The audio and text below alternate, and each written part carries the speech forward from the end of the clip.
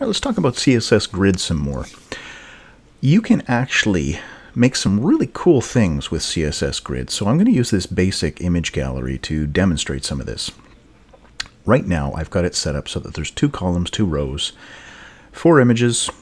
I've got four list items. Each one of them's got a different image in it. Nothing really out of the ordinary here. Uh, what I'm going to do is I'm going to bump this up. So I'm going to increase this to say that I've got six rows.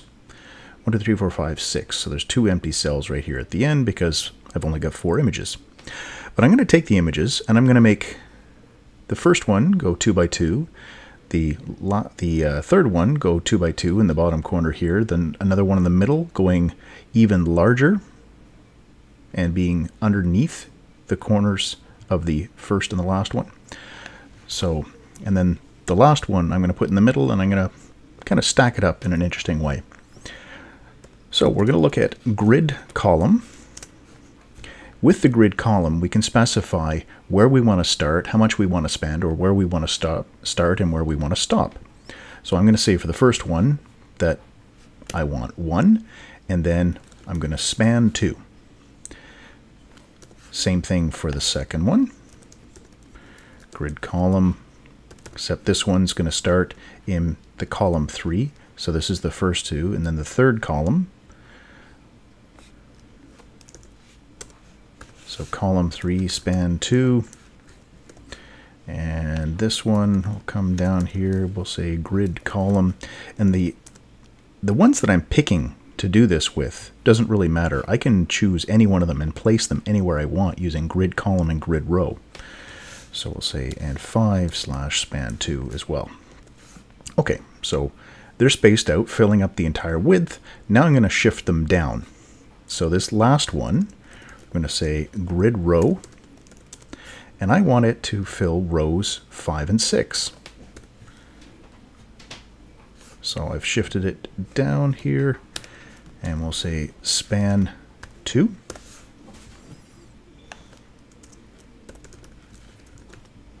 Grid row, starting in 1, spanning 2. So it was already doing that. And now we're going to push this one down by saying grid row, starting in 3, span 2. Okay, so now I've got them staggered here. This fourth one's just sitting where it normally would, the first place that's available, because I haven't done anything else with it. But I'm going to take number two, and I want to expand this. I want to make it grow so that it's underneath the edge of number three and underneath the edge of number one, taking up four of the six columns and four of the six rows. So we'll move back one column. So starting in column two instead of three, and we're going to span 4. And the grid row, I'm going to be starting in row 2, spanning 4. There we are. Now, it's stacked in the order that they're written in the HTML, first, second, and third. What I want to do is I want to put this one in behind, so I'm just going to take number 1 and I'm going to bump it up. I'm going to increase its Z index. Uh, just anything higher is going to work here. So we've got this nice little staggered effect like this. And then number four, I'm going to position it right in the middle here. I'm going to put it where 2 was originally before we expanded it. So grid column, column 1, column 2, column 3, and row 1, 2, 3. So 3, span 2, grid row, same thing, 3, span 2. Okay, so number 4 is sitting on top of here, and then we can also play with it. We can do other things. We can do a transform. Let's rotate it, negative 45 degrees. We can play with the opacity. Let's set it to 80%. So it's letting some of the other ones show through. So you can do lots of things that you want. Um, because of the way grid works, we can use these other properties like transform, so we can do transitions, transforms, uh, without having to do anything else to it. Um, yeah, so that's it. So you can create any sort of pattern you want, and it doesn't have to be equal measures here too. You can change what the columns are. Like right now, it's one fraction, one fraction, one fraction, one fraction, one fraction, one fraction. There's our six, but we can play around with this.